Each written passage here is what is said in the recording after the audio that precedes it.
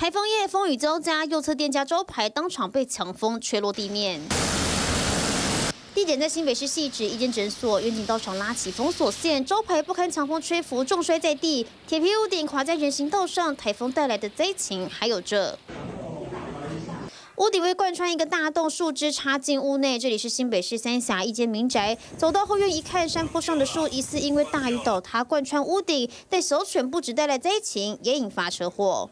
白色小货车刚转弯，却往右偏移，撞上路缘。车祸发生在台北市大同区，驾驶自称风太大才会打滑自撞。但北北基桃是这一次台风唯一没放假的区域，民众涌入蒋万安脸书反映却很两极。有人指出骑车上课真的很危险，生命受到威胁；也有人说没放假代表灾情少，大家应该要开心。而五号上午也有人留言，果然风雨停歇。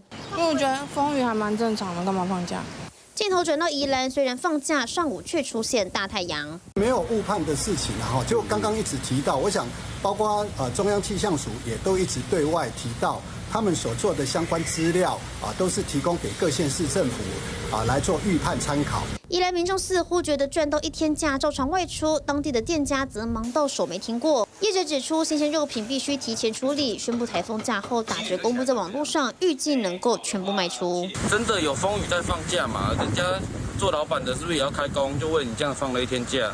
百货公司门口贴出告示，台风停业一天，但没风也没雨，新竹民众似乎很无感。可能就真的天气的状况没有达到需要放台风假的标准，因为新竹市毕竟它腹地很小嘛，然后没有山区，所以可能影响没那么大。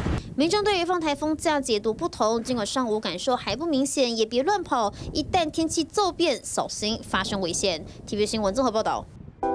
想看最完整的新闻内容，记得下载 TVBS 新闻网 APP。